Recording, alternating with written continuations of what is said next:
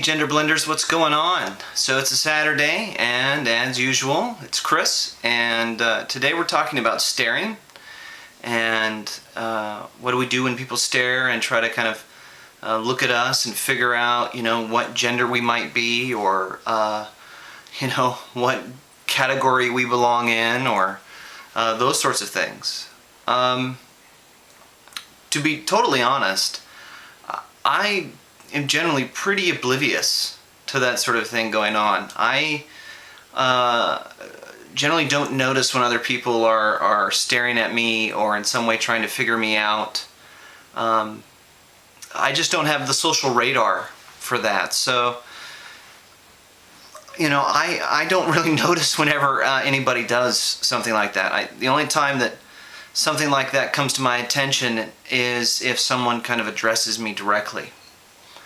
But you know, I read in uh, college um, this study that was done as a part of a class I took, a sociology class I took, that said uh, people don't actually um, really look at us or actually pay much attention um, to other people uh, that often. In fact, most people are so involved in their internal weather and in their own thoughts and their own world and what's going on around them that they really uh, don't spend a lot of time doing those sorts of things. Uh, and that in fact, if there is any time spent, it is usually quick and it is usually uh, a snap judgment and then usually the person moves on.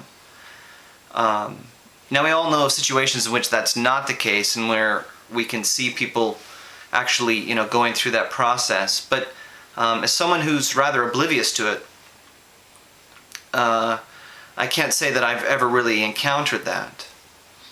So I, you know, I suppose the advice that I would give with regards to that is only to continue to focus on being you, to do everything you can to present yourself as authentically as possible. Um, it is a fundamental part of reality that uh, you know, people are going to in some way have questions in their mind and maybe in some way confront us about those things.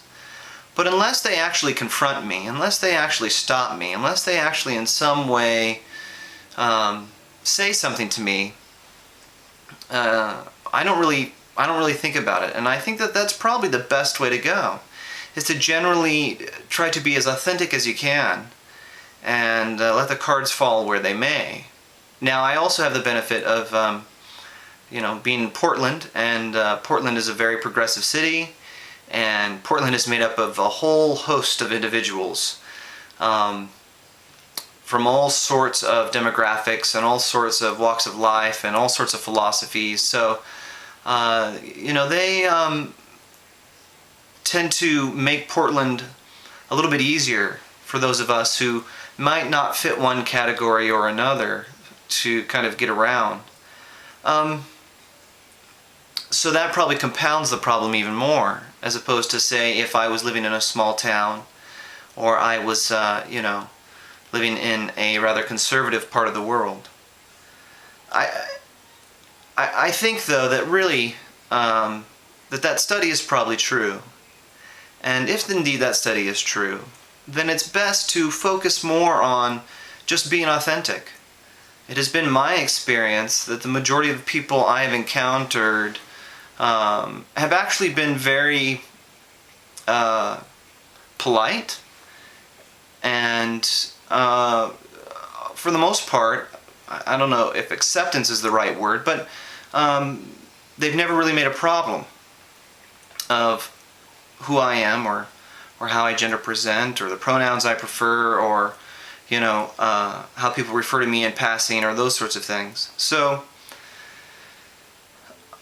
I'm not sure I'm the best person uh, to really speak to this, but I think that because transition and because uh, the gender variant life is really about uh, being authentic, is really about uncovering who we are and manifesting who we are that that's really where we should focus our energy. We should really focus our energy on being who we are, uh, being as authentic as possible, uh, when it comes to that.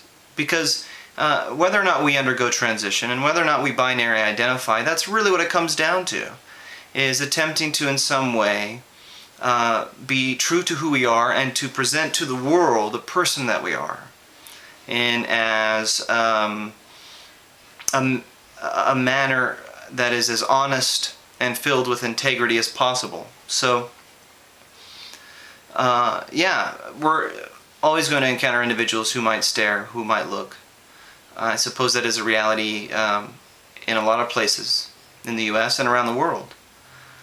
But as long as we are true to ourselves, and as long as I think we present ourselves in an authentic manner, then regardless of the response, regardless of how we're uh, perceived, or regardless of how people um, interact with us, uh, we will always be able to approach the world with the capacity to accept the beauty that we have and to model to our fellow uh, brothers and sisters of humanity an attitude uh, of acceptance, an attitude of finding beauty uh, wherever it manifests itself and in whatever way it manifests itself. So, uh, yeah, I guess that's about it, really. Um, you know, we've had a great week, and a, lot of people have said a lot of great things and shared a lot of experiences. And, uh, you know, I hope that one of these videos connected with you, and I hope that you are uh, continuing to enjoy the channel. We all appreciate everybody turning, uh, tuning in, so to speak. And, uh, yeah, thanks for tuning in on a Saturday, and uh, I'll see everybody next week.